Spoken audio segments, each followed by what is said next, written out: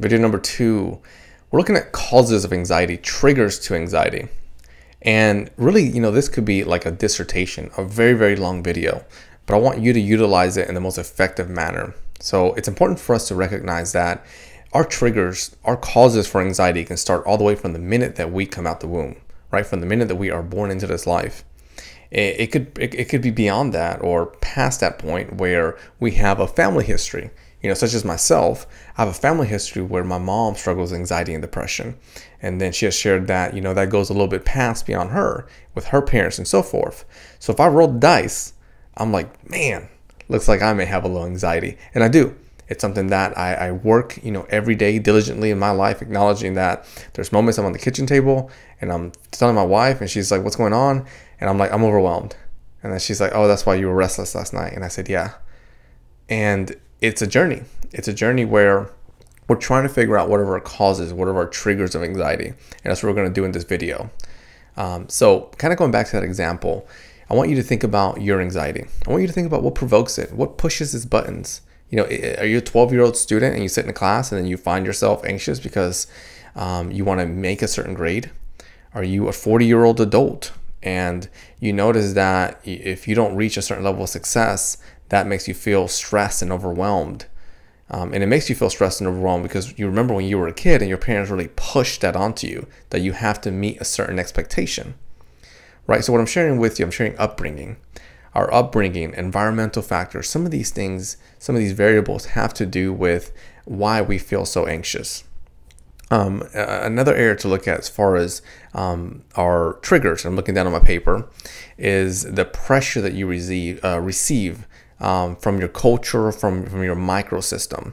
So let's say like uh, you have an individual and they are have an upbringing from a culture that really pushes them uh, to reach a certain point in their life. Maybe they push them to be a professional because that individual um, came from a family system that migrated, right? So now this person has this thought, right, in their mind where, you know, my parents went through all of these things, so I have to reach a certain level. Now, that in itself, that's a lot of pressure. That's a lot of stress. Now, you and I know if we use those words, pressure and stress, at times they're not the best words because they can lead to a body and mind reaction where the body gets anxious, heart rate goes up, the body starts to sweat, the mind starts to feel like uh, like sticking your hand in a fish tank and it's just cloudy, you can't see anything. Right, so that again, there's, there's a trigger there for anxiety. Some people even notice that they get anxious when things are coming up or when they experience change. So it could be that you know you're living in your home and all of a sudden you got to move to a new one maybe landlord or whatever issue came up. That change in itself causes you to feel stressed.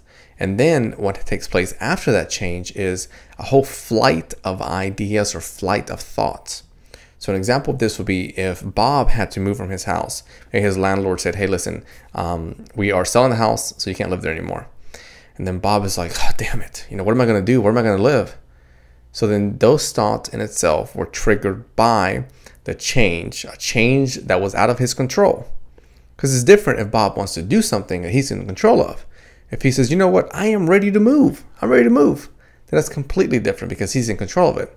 However, because he's not in control and there's uncertainty, that increases that anxiety. So then Bob starts to react. His stress gets triggered, right? It's a cause to it, and it starts to react. And then what strengthens, yes, what strengthens that anxiety is the subsequent, you know, the next thoughts that come after. You know, Bob sitting there thinking, he goes, you know, where am I going to live? I have nowhere to live. I have no saving.